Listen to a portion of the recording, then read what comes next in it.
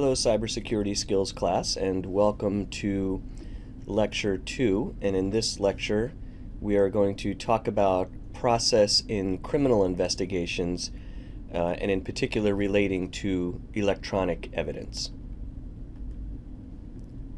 So the first uh, piece of this discussion is to talk about the background law relating to search and seizure. And that background law is going to, um, of course, form the background for all of our discussion about the criminal investigation of electronic evidence. And the bedrock of that background is the Fourth Amendment.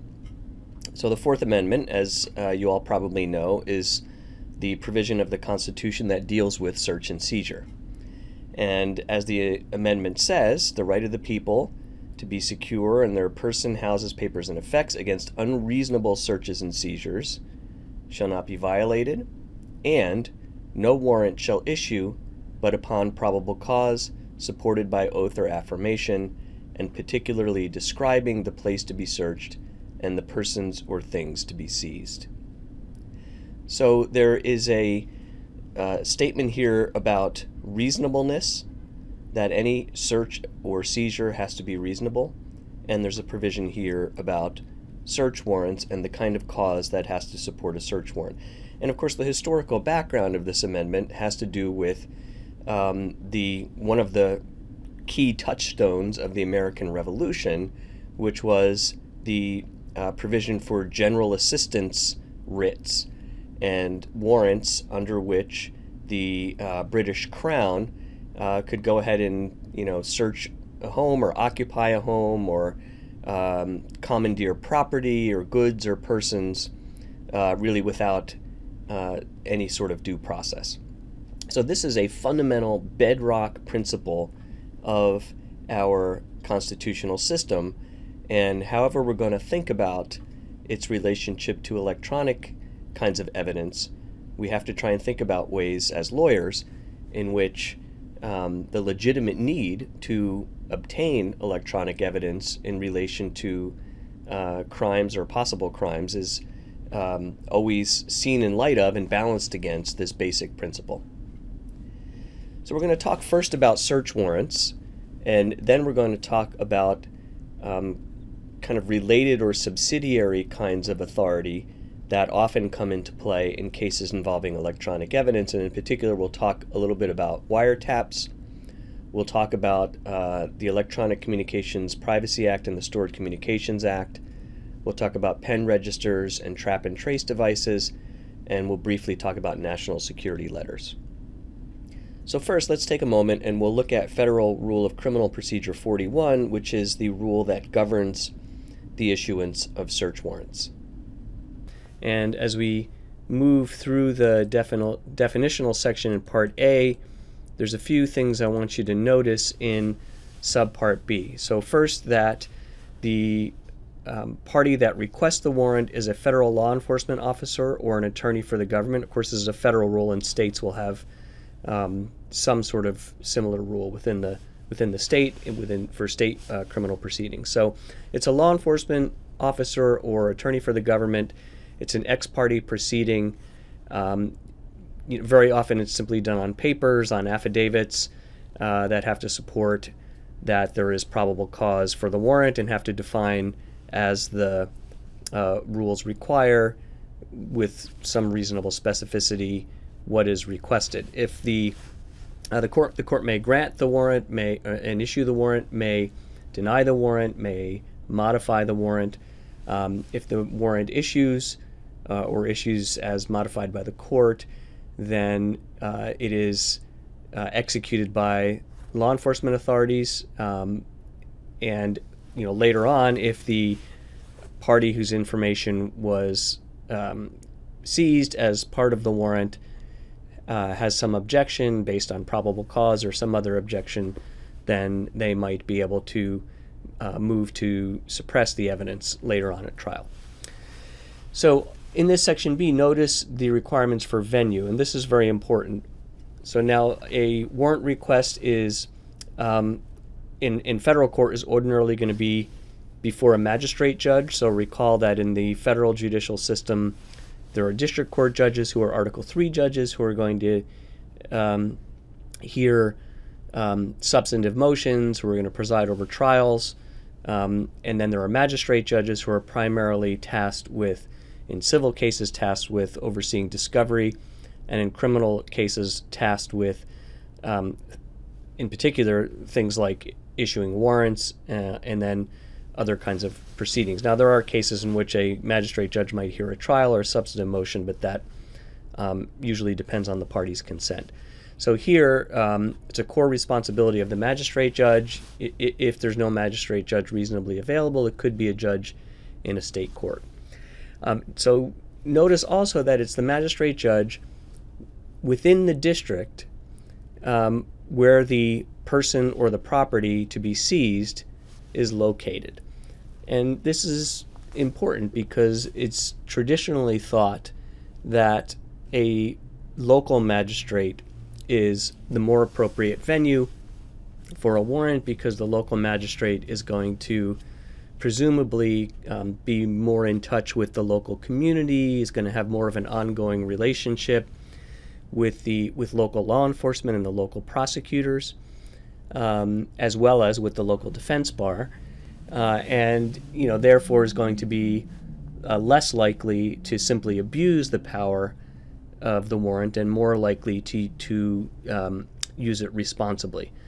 So you know notice that in in most of these subsections of Part B here, we're we're talking about a person or property uh, located within the district. We've got um, you know some possibility of issuing a warrant for a person or property outside of, of the district if the property is located within the dis- district when issued but might might have moved.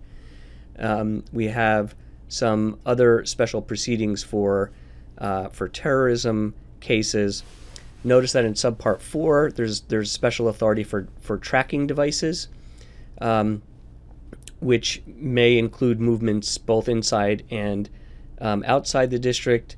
Notice in section five, there's some special provisions for magistrate judges in the District of Columbia um, for other kinds of uh, property or, or land relating to government property.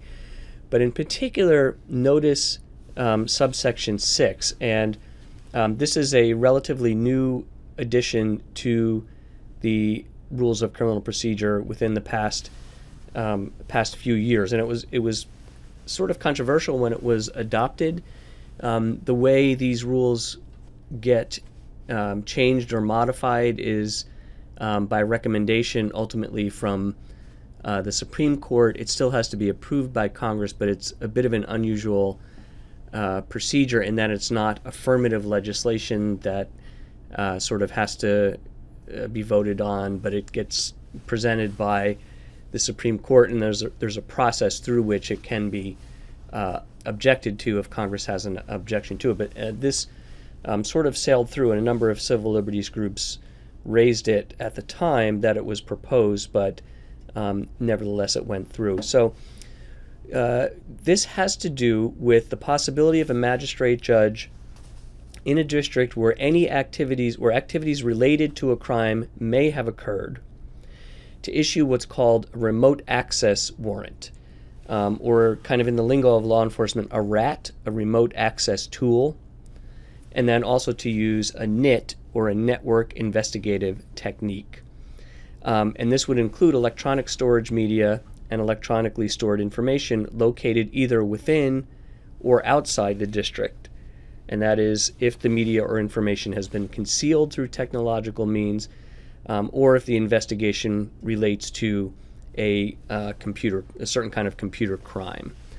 Um, now, you know, there's an, some examples I've seen of uh, federal law enforcement using these uh, rats and nits include, for example, in child pornography cases, and in one sort of very notable child pornography case over the past couple of years, um, where through other investigative techniques they were able to identify um, particular uh, internet service provider that they knew was being used to um, host and transfer child pornography files, and they were able to upload a piece of malware onto that system um, which allowed them through that malware to uh, track users who were using that server and that system to trade child pornography files. Um, so, you know, a rat or a nit could be a what otherwise we might consider a piece of, of, of malware or some other way in which the government could remotely monitor. Now, this was controversial, obviously, against the backdrop again of the um, Edward Snowden revelations about the National Security Administration and the kind of warrantless wiretapping um, of internet and email systems.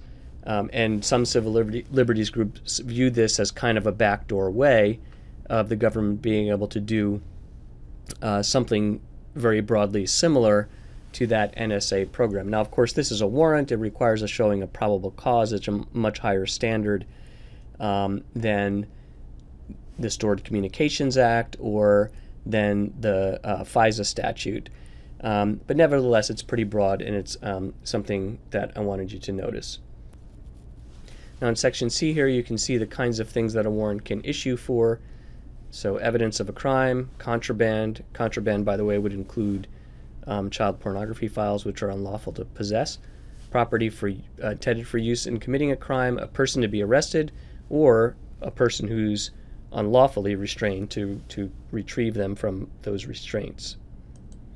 Section D tells us the procedure uh, for obtaining the warrant and gives us the um, kinds of information that have to be submitted to the court and the requirement of probable cause, which of course is um, a constitutional requirement.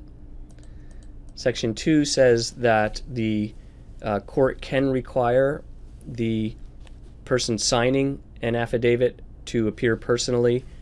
Um, this isn't really the ordinary procedure. It's ordinarily on the, on the papers, but occasionally a court will want to hear um, testimony to flesh out parts of an affidavit. Section E gives us the uh, contents of what the warrant has to say, and you know the thing to notice here is simply um, that warrants um, have time constraints, time limitations, uh, and uh, if it's sort of an ongoing warrant that's going to have to take longer than the ordinary time limitations in the warrant, then the, then the um, government will have to go back to court and seek another warrant or um, or ask for an ex- extension. And this may be particularly important in the case of a uh, tracking device. So part F, executing the warrant.